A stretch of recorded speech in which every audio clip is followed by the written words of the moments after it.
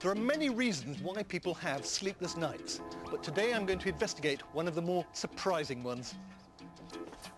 I've come to meet Rob, who often struggles to get to sleep. Hello. Hi there. It's me. Thank you. What's the problem?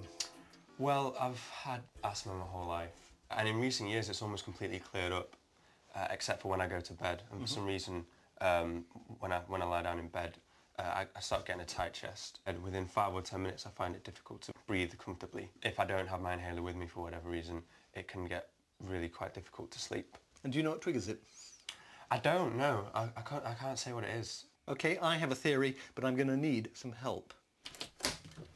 I brought along a special um, vacuum okay, cleaner yep. and expert Gary Farron.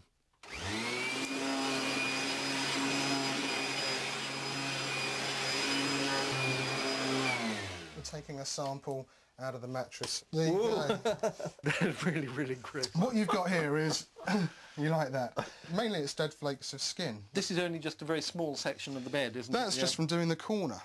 Uh, is this fairly typical? It is typical. Um, so it's um, not he's especially grubby? No, ev everyone has the same problem. you really didn't expect to see anything quite like this? No, it's absolutely disgusting. But there's also other stuff in here as well as dead skin, There will be other stuff in there.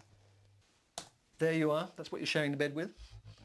This is a dust mite, a tiny eight-legged relative of the spider. 5,000 could fit on the head of a pin. In this sample here. How many of them do you think there are? Well, in an average mattress, there could be 2 million to 5 million dust mites. And how are they feeding? Mainly dead flakes of skin. Right, so I'm feeding them basically. Absolutely, yeah. We shed our entire skin surface into our bed every month, so there's plenty of food to go round. And they're not just feeding, you'll be thrilled to know, they're also pooing. Is that right? That's right. They can excrete about 20 to 40 pellets a day. it's about 200 times their own body weight during their lifetime. That's highly unpleasant. and that is probably what's triggering your asthma. Most people are unaffected by dust mites, but for asthmatics, their feces can cause an inflammatory response. In fact, dust mites are worldwide the most common trigger of asthma. And they love pillows. Rob, we've got one more little surprise for you. Can you stick your arm out? Okay. Have you ever wondered why a pillow sags like that?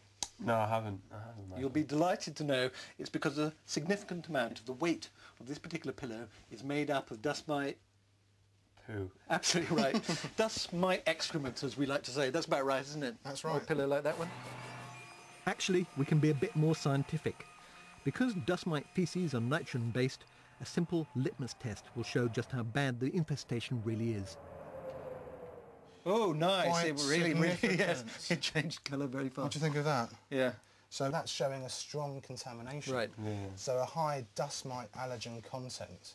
So in that pillow, you're going to have hundreds of thousands of dust mites. Quite Rob simply. is burying his head in that pillow each night, so it's not surprising his asthma's being triggered. Fortunately, I have another pillow here for you. Ah. As a present, put your arm out. You see this does not sag, it is new. So, other than a new pillow, what can you do?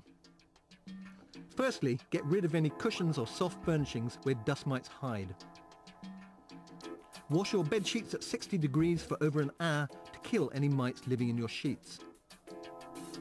Most importantly, air your room and your beds.